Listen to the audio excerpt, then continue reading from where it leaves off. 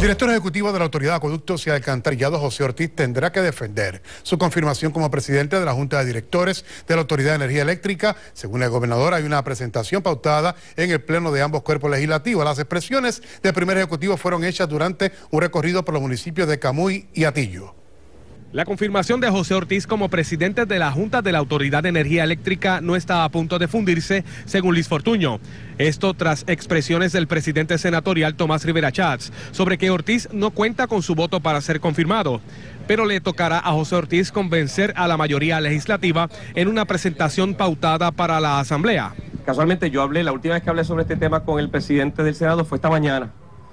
Y eh, me dijo que entendía que era una buena idea, algo que yo le propuse, y era que el ingeniero José Ortiz y el equipo de la Junta de Gobierno fueran a hacerle una presentación al caucus en pleno, cosa que ya va a suceder en la Cámara, de todas maneras iba a suceder en la Cámara, así que van a coordinar para una presentación de igual manera en el Senado, eh, y a base de eso van entonces a poder tomar una decisión a base de información, no de especulación que hay en la calle. Sin embargo, el propio Ortiz dijo desconocer las razones del por qué dudar de su confirmación y afirmó estar disponible para aclarar dudas sobre lo que haya llegado a los oídos del presidente senatorial. Pues mira, no lo sé, pero porque ¿verdad? él sabe a quién ha tenido acercamiento, que le han dicho.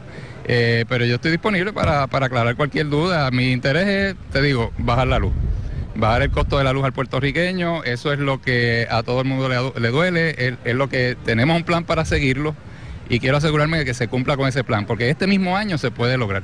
José Alberto Irizarri, Noticias 24-7. Y la confirmación de José Ortiz como presidente de la Junta de Gobierno de la Autoridad de Energía Eléctrica fue pospuesta hasta la próxima semana. Así lo informó el presidente de la Comisión de Infraestructura y Urbanismo del Senado, Larry Seiheimer, tras explicar que aún queda por examinar asuntos como el corte de la cuenta amorosa de los residentes de residenciales públicos, el trasplazo del sistema de riego de la AAA, entre otros. Él también, portavoz de la mayoría, puntualizó que el informe de la confirmación de Ortiz está listo con una recomendación positiva desde el 12 de abril pasado. Sin embargo, el documento no se había bajado a votación del Pleno.